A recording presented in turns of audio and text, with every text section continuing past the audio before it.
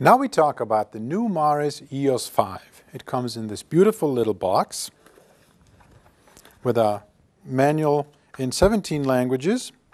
And here is the torch.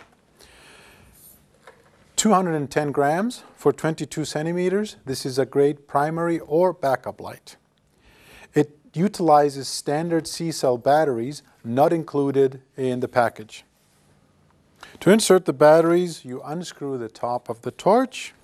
Now here we immediately notice the double O-ring, very good for avoiding water coming in. We insert the three batteries and we screw the top back on.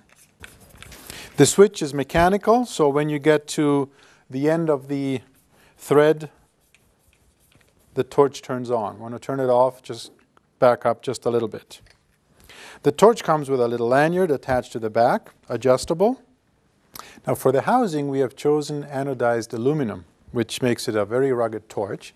And we can guarantee it to an operating depth of 120 meters, about 400 feet. Now let's talk about the technical specs of the torch. We have chosen a 7 watt high power mono LED with a 620 lumen output, which guarantees us a hotspot of 13,000 lux. Now let's turn on this light and see what kind of result we have. The hotspot we set is 13,000 lux, very bright, and around it we have a very ample crown. This is, this is very good for night dives, and the tight hotspot actually makes it ideal for day dives when you just want to quickly look into a hole or something like that.